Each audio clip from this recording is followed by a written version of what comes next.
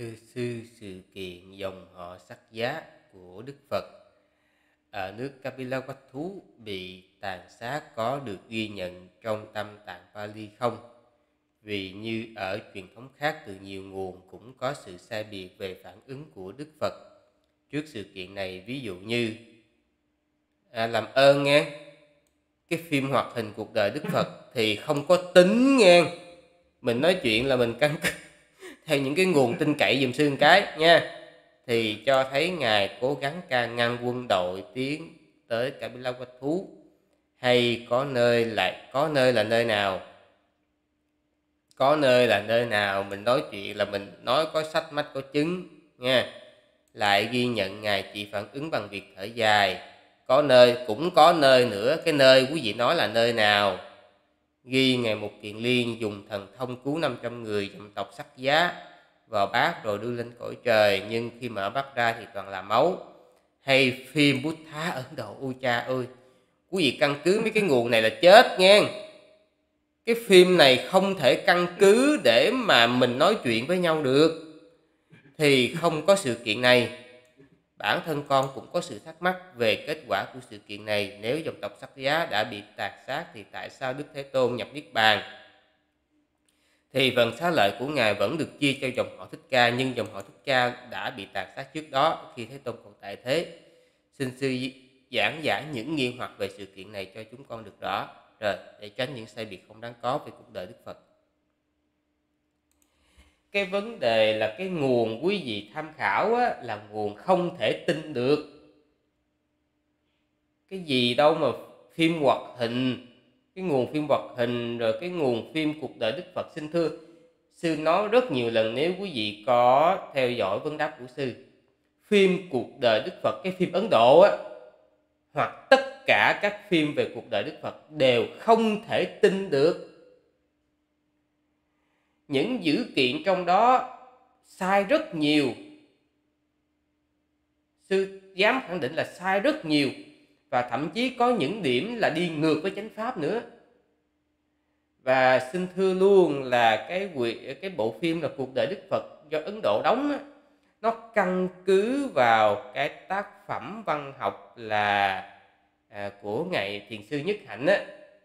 Là cái gì à, tự nhiên cái bây giờ nói hả? À đường đường xưa mây trắng. Đúng rồi đường xưa mây trắng. Đó là một tác phẩm văn học thì đã gọi là tác phẩm văn học là nó sẽ có thêm bớt.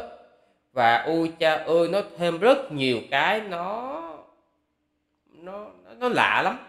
Cũng là phật đó nhưng mà cái phật đó lạ lắm. À, cho nên là quý cái căn cứ quý vị là mình căn cứ những nguồn không thể tin được cho nên quý vị mới có những cái băn khoăn như thế.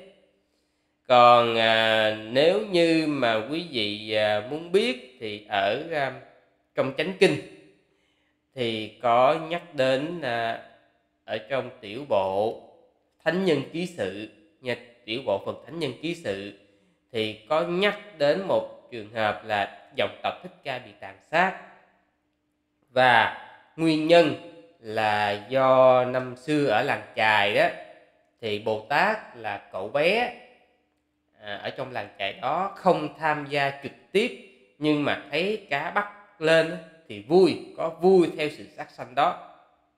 Cho nên là bồ tát có sự cộng nghiệp. Còn lại thì ở trong chú giải đặc biệt là trong chú giải pháp cú là có kể rõ về sự kiện này ha. À, còn à, cái chuyện nếu quý vị đọc trong chú giải pháp cứu thì quý vị sẽ thấy là dòng tộc thích ca không bị tàn sát hết vẫn có những người còn sống. À, là những người mà mình gọi là ma lanh á. À, thì à, vẫn à, còn sống. À, cho nên là dòng tộc thích ca là không bị diệt tuyệt nha. Nó họ chỉ bị giết gần hết thôi chứ không bị diệt tuyệt à, còn cái sự kiện mà ngài mục kiền liên mà lấy 500 người đập vào cái bát á, thì xin thưa là sự kiện đó không có trong kinh tạng Phật giáo Nguyên Thủy. Và nếu xét ra đó thì nó cũng không có đúng với giáo lý Phật giáo Nguyên Thủy. Bởi vì một vị à, a la hán thì vị đó phải biết tất cả chúng sanh có nghiệp của mình. Cho nên các ngài sẽ không có trường hợp là can thiệp trực tiếp như vậy. À, không có. À, và không biết là đại đức à, tuệ tường có thông tin gì có thể chia sẻ trong trường hợp này hay không?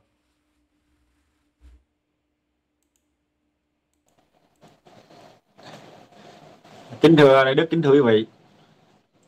Về à, cách giải thích của đức hành tuệ à, bản thân sư thấy nha rất là chính xác hoàn toàn đầy đủ thưa quý vị. Ờ, à, thì bản thân sư á, thì uh, sư chỉ nhấn mạnh lại nhấn mạnh lại nhấn mạnh lại là cái lời khuyên á. Tôi giờ đức tại đó rồi nhưng mà sư lại phải nhấn mạnh lại thưa quý vị nhấn mạnh lại một lần nữa là đúng thật như vậy thưa quý vị đúng thật như vậy. Có nghĩa là khi mình nếu bản thân mình đó thật sự có lưu tâm đến những cái lời Phật dạy gốc đó, nằm ở đâu thì mình phải chịu khó tìm hiểu trong tâm tạng cái điển Bali và chú giải chính thống. Ừ. thì mình mới hiểu được um, đâu là lời Phật dạy và đâu là không phải là Phật dạy còn đâu là mình phân biệt đâu là tâm sao sắc bổn đúng không? Rồi đâu là những cái gọi là những gì đó hình tại nói là những cái tác phẩm văn học đúng không gì á nó chào phúng lên như vậy mình phân mình đủ phân biệt được cái việc ừ. mình đủ sư gọi là đủ phân biệt được nha chứ không sư không có nói là đúng sai đây nha sư nhấn mạnh một lần nữa sư nói là đủ phân biệt được phân biệt được cái nào là à, ở trong tâm tạng cái điển Bali ừ. cái nào là tác phẩm sáng tác hay là tác phẩm văn học đó, do những đời sau sáng tác ừ. mình phân biệt rõ để mình biết. Um, đó là cái điều rất quan trọng thưa vị. Bởi vì sao? Bởi vì nếu quý vị không phân biệt được á, thì um, có thể thì nó có thể nó sẽ là chướng ngại trong cái việc mà uh, thứ nhất là cái niềm tin cái niềm tin đúng đắn của quý vị cái niềm tin về Phật bảo Pháp bảo Tăng bảo ba ngôi Tam bảo và cái và cái cái sự học học pháp và cái sự thành pháp và cái sự thành tựu pháp của quý vị nó rất sư nói nhấn mạnh nó rất rất rất và rất là quan trọng. Nó như vậy. Um, còn về những điểm chính điểm chính thì ờ, Đức Thanh Tệ nói rất đầy đủ rồi đúng không? Còn cụ thể cái câu chuyện thì cái câu chuyện này nè thì như Đức Hình Tệ nói đó, trong Thánh Nhân Ký Sự.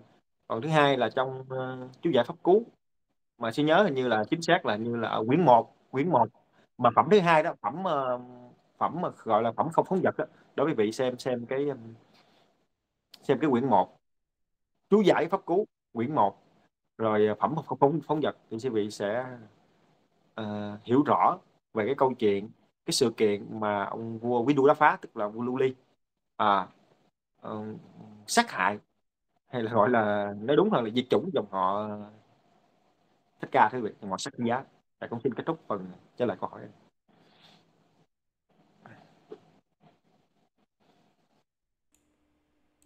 Chúng ta qua câu hỏi